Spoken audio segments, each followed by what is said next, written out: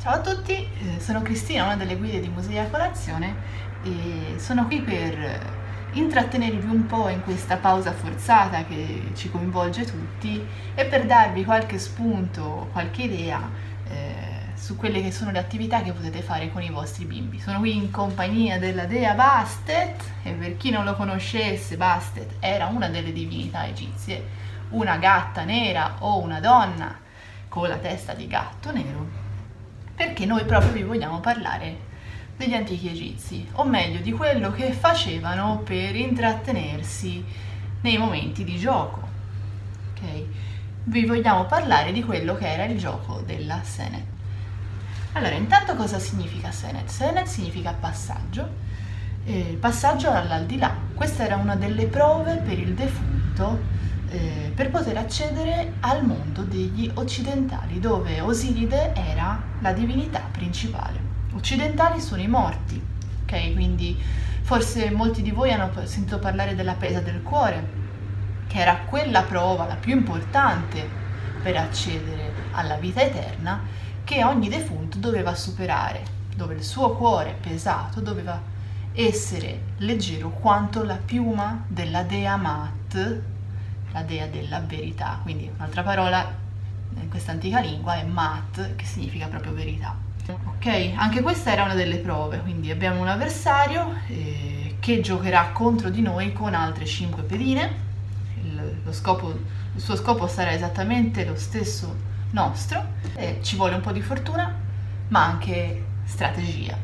E noi abbiamo un tabellone che ho comprato l'anno scorso da History Lab, ah, in occasione di turismo, dal nostro amico egittologo Pasquale Barile, ma vi consiglio di realizzarlo insieme ai vostri bambini su un foglio di carta. Molto semplicemente sono 30 caselle, ok, 10 per ogni fila, con la numerazione egizia, di cui ora scopriremo qualcosa.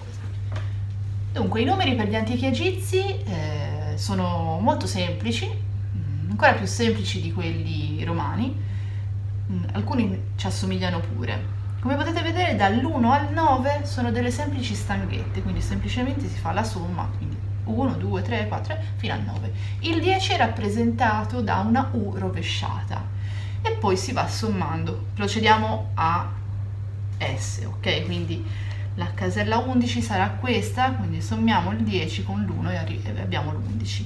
Via dicendo fino al 20 dove abbiamo due volte il 10, ok? E fino alla fine. Alcune caselle di questo tabellone ovviamente sono eh, particolari. Abbiamo la Hank, che significa vita, okay? in cui noi saremo protetti, quindi il nostro avversario non ci potrà fare nulla finché non decidiamo noi di muoverci. Abbiamo la casella Neferu, che è questa, corrisponde alla casella 26, che è un'altra casella di protezione in cui noi potremo decidere di sostare, che con una delle nostre pedine, la casella della pesa del cuore, dove vedete le piume della dea Mat, okay, quella famosa dea della verità di cui abbiamo parlato prima, e il giudizio di Horus e la casella di Ra, la divinità del sole, quindi con questo bellissimo disco solare. Queste sono tutte caselle di protezione all'interno del quale il nostro avversario non ci potrà fare nulla. Ne abbiamo però anche una, che è la casella di Mu, che è questa qui con eh, l'acqua, si vede le ondine, che ci farà scivolare, quindi facile da ricordare perché rappresenta l'acqua, alla casella Hank, ok? Quindi se io sono qui, per esempio, faccio due, arrivo sulla casella Mu e devo retrocedere alla casella Hank, in cui sarò protetta però mi fa tornare indietro. Se per caso questa casella fosse occupata da un'altra pedina, può essere mia o di un avversario, e io arrivo sulla casella Mu, dovrò retrocedere alla prima fila?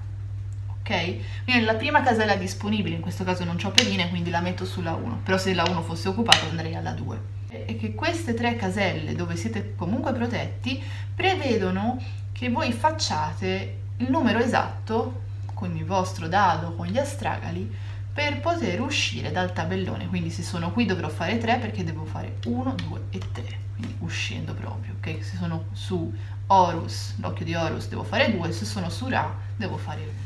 Tanto come si gioca? Io ho gli astragali, che sono in realtà in questo caso semplici bastoncini, vedete, colorati, una doppia faccia, una chiara, una scura, come le mie pedine, ok? Ma voi potete utilizzare tranquillamente un dado, eh, ricordandovi però che con gli astragali le combinazioni possibili sono solo 5, ok? Quindi io avrò il numero 1, 2, 3, 4 e 6, e se usate il dado e fate 5 semplicemente ritirate senza considerarlo nemmeno. Quali sono le combinazioni? Bene, noi considereremo quelle che sono le facce chiare, ok? Quindi vi faccio un esempio. In questo caso, tirandoli sul tavolo, abbiamo una sola faccia chiara che corrisponde al numero 1, in questo modo corrisponde al 2, il 3 sarà con 3 facce chiare, il 4 con 4 facce chiare, molto semplicemente, il 6 sarà questo con quattro facce scure, ok? Il 5, come vi ho già detto, non c'è. Nel caso in cui io faccia 1 o faccia 6, ritiro, quindi ho un, la possibilità di un nuovo turno.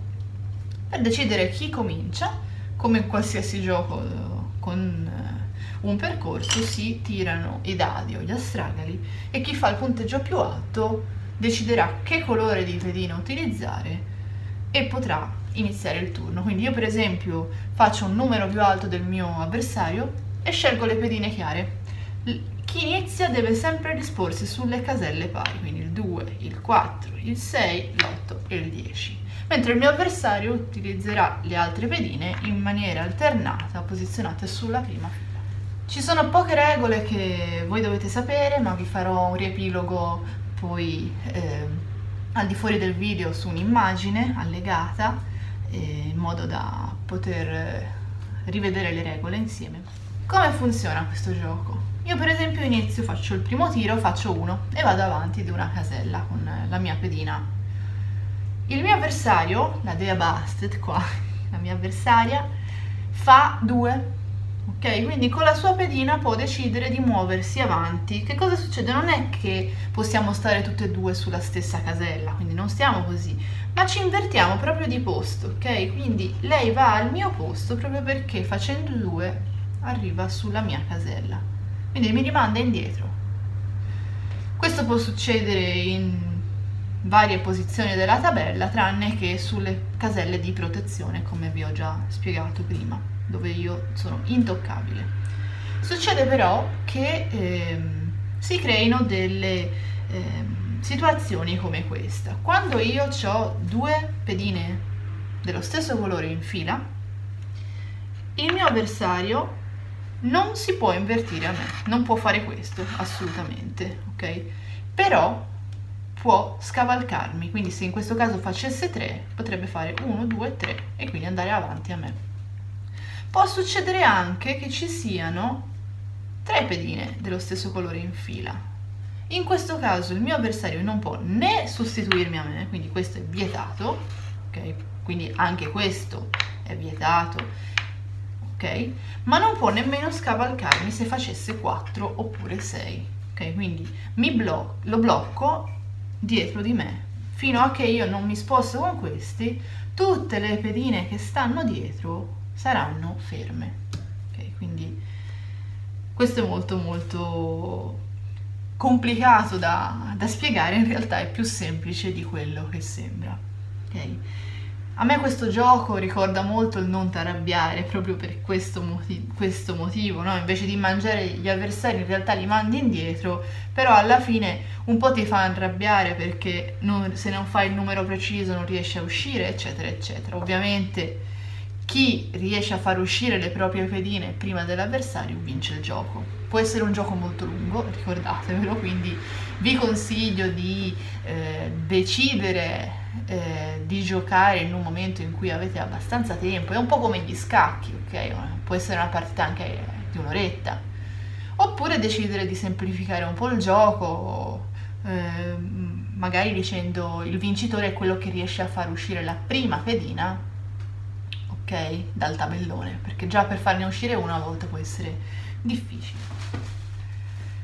Questo gioco da chi era giocato? Era giocato da tutti in Egitto, inizialmente dai nobili, ma poi anche da bambini, varie fasce della piramide sociale egizia. E noi ne abbiamo testimonianza perché in molte tombe, in molti corredi funerari è stato ritrovato la scatola del Senet. Una famosissima è quella di Tutankhamon, il faraone bambino che tutti conoscono per la sua maschera d'oro. Anzi, quando la situazione sarà stabilizzata, vi consiglio di andare a vedere questa bellissima mostra che si trova a Palazzo Medici nella Galleria delle Carrozze, quindi via Martelli numero 5, dove c'è una bellissima riproduzione di tutto il suo corredo, di tutto quello che Howard Carter ritrovò nel 1922 e all'interno del suo corredo abbiamo proprio la scatola della Senet, che è questa come vedete c'è il tabellone col percorso, le pedine sopra, ma c'era anche un cassettino in cui potevano essere riposte le pedine e gli astragoli, ci sono anche delle iscrizioni in geroglifico. Questo gioco eh, a me piace molto sinceramente, si trova anche in vendita eh, su internet, ma secondo me è anche molto bello poterlo realizzare insieme ai vostri bambini. Quindi provateci e fateci sapere come, come vi sembra questo gioco. E speriamo di vederci presto a una delle nostre visite che attualmente sono sospese per causa di forza maggiore e godiamoci questi momenti con le nostre famiglie. Io e la Dea Bastet vi salutiamo.